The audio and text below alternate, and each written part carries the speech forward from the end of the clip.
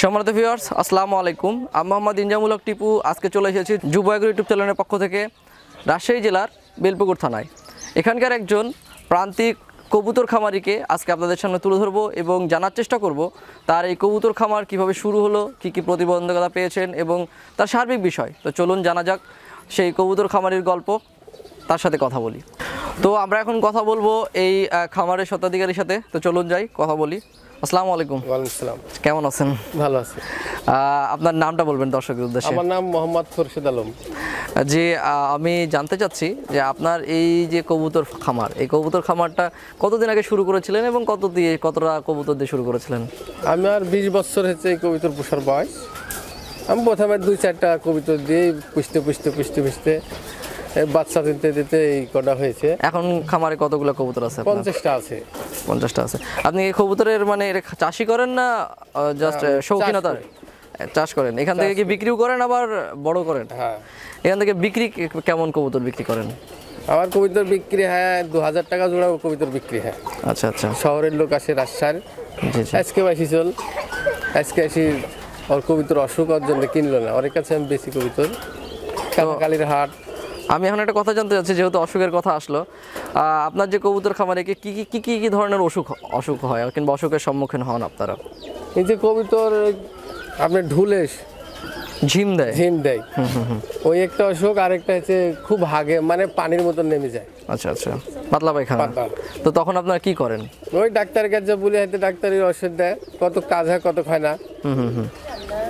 ওই খাওয়াতে। এখন পর্যন্ত সবচেয়ে বড় কোন ধরনের রোগ আপনি সম্মুখীন হয়েছেন?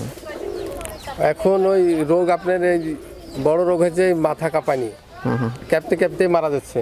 আচ্ছা আচ্ছা। তো আপনার এই যে কবুতর খামার এই কবুতর খামারে কি কি জাতের কবুতর আছে? আমার কাছে আছে ঘিয়াচন্ডি আছে গিরিবাজ আছে গুলা আছে। মানে এই কয়েক জাতের কবুতরই বিক্রি রাখেন আপনি। হ্যাঁ। তো এখান থেকে বাচ্চাগুলো কেমন দামে বিক্রি করেন? বাচ্চা আছে দু হাজার টাকা পনেরোশো টাকা জোড়া। আমি দেখলাম আমি দেখলাম যে আপনার প্রত্যেকটা প্রায় খোপেই ডিম কিংবা বাচ্চা আছে। তো এই বাচ্চাগুলা মানে কবুতরগুলো কতদিন পর পর ডিমে ডিম দেয়? এরা বিশ দিন ডিমে থাকবে। সপ্তাহ ডিম কাড়ি দিলে আবার এক সপ্তাহের মধ্যে আবার ডিম দিয়ে দিবে। মানে ওখান থেকে ডিম নেওয়ার পরে ওই ডিমগুলো কি করেন আবার? ওই ডিমগুলো আরেকজনের পরে ওই ওই কালারটা ভালো লাগছে না ওর কালারটা ফেলা দেবো ডিম দিয়ে খেয়ে দিয়ে দিলাম।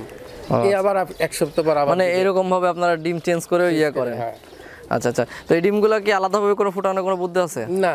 এরাই এরাই তো এই ছোট বাচ্চাগুলোকে কি আলাদাভাবে কোনো মানে যত্ন করেন না? আর মায়েরাই? মায়েরাই। ওর মায়ের খাওয়াই সব সময় কি কি খাবার দেন?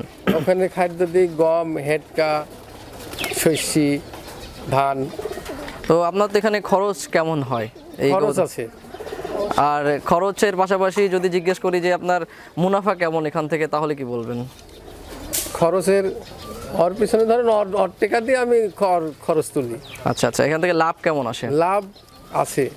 রোগ বালাই জলটা আসে লাভ আছে। কেমন হয়? তারপরে যদি একটু জানা যেত। হাতে বীজ জোড়ার তুলেছে একবারে ধরেন চল্লিশটা বাচ্চা ঠিক হুম হুম।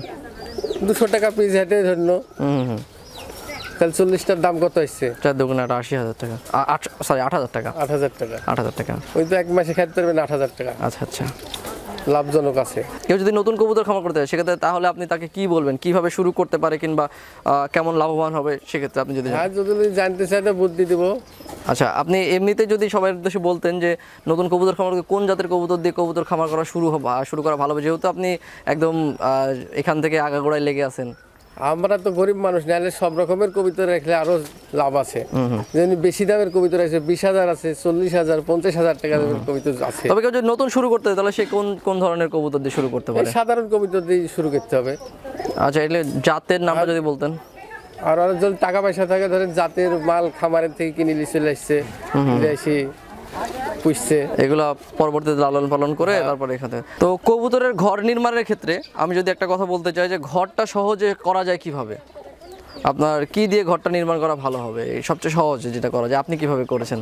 আমরা দেখি যে বাঁশ কেটে কেটে খুব খুব করে দেখো। তো আপনার এই কবুতরগুলো কি সবসময় মুক্ত থাকে না আবদ্ধ থাকে?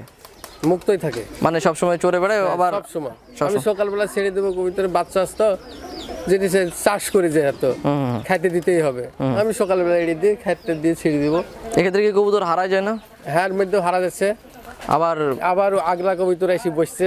আচ্ছা আচ্ছা আচ্ছা এইভাবে এইভাবে আর এই জিনিস ওইভাবেই বেড়াবে। আচ্ছা আচ্ছা। বড় জিনিস। আপনার আপনার এই যে কবুতর ফার্মে এখন পর্যন্ত সবচেয়ে বড় কোন বাধার সম্মুখীন হয়েছেন? যদি বলতেন। আমি কোনো বাধা পাইনি। খুব ভালোভাবে কবুতর খামার পরিচালনা হ্যাঁ। করছেন। তো যারা বেকার যুবক আছে যারা কোনো কিছু করার ভাবছে কেউ যদি কবুতর করার খাম- খামার কথা বলে তাদের উদ্দেশ্যে আপনার পার্সোনাল কিছু যদি বক্তব্য থাকে অবশ্যই আমাদেরকে বলবেন। না খামার যদি করতেছে তা আমরা বলব যে হ্যাঁ খামার করো। তবে সেক্ষেত্রে কি কোনো অন্য কোনো সমস্যা আছে? না কোনো সমস্যা নেই। তো আপনার সাথে কথা বলে খুব ভালো লাগল। আশা করা যায় যারা কবুতর খামার নিয়ে ভাবছিলেন তারা আপনার কথা শুনে খুব ভালো একটা ভালো সাড়া পাবেন। তো ধন্যবাদ। আসসালামু আলাইকুম। তো পরবর্তীতে দেখা হচ্ছে কোনো এক সময় কোনো এক জায়গায় কোনো এক সফল ব্যক্তির পাশে। তো সে পর্যন্ত ভালো থাকবেন। ধন্যবাদ। আসসালামু আলাইকুম।